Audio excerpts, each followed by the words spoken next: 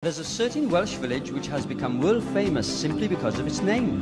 A name which enables the village to boast one of the longest railway station signs in the world. Situated on the beautiful Isle of Anglesey, it is called Llanfair Gogerach Llantysilio Gogogoch. This song will teach you how to say it.